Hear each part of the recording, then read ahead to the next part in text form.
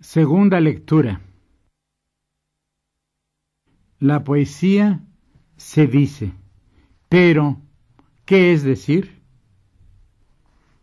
Decir, hacer.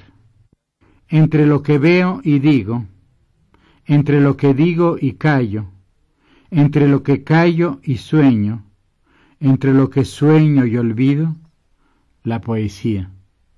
Se desliza entre el sí y el no.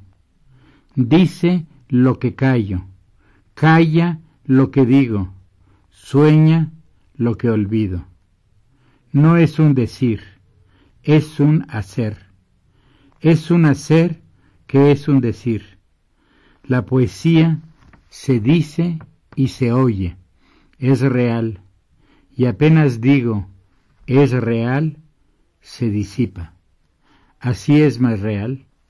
Idea palpable, palabra impalpable.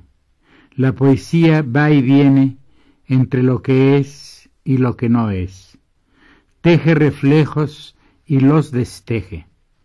La poesía siembra ojos en la página, siembra palabras en los ojos. Los ojos hablan, las palabras miran, las miradas piensan.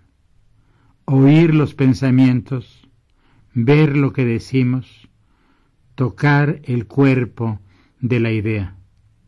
Los ojos se cierran, las palabras se abren.